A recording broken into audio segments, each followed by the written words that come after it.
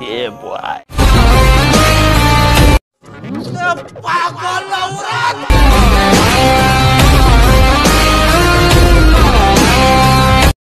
भाई मारो मुझे मारो मा...